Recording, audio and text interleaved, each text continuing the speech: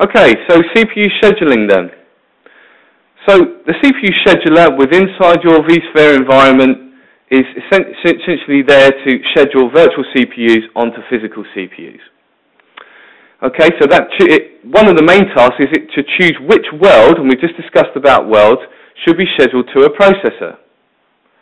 So the scheduler checks physical CPU utilization every 20 milliseconds and migrates the worlds across your, across your physical CPUs as necessary.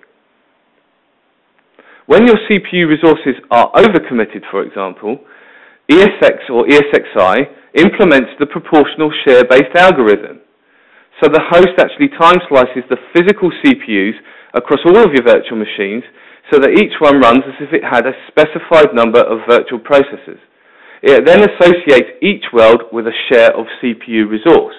So that's when, when you get any contention within your VMware environment, your vSphere environment, that the actual shares, when you have your shares assigned to any virtual machines or any resource pools that you have in your environment come into play. So this entitlement as I say, is implemented when the CPU resources are overcommitted. Again, it's calculated from our resource user specifications, such as shares, reservations, and limits. But the ratio, it does a ratio of consumed CPU against its entitlement. And that is used to actually set the priority of the world.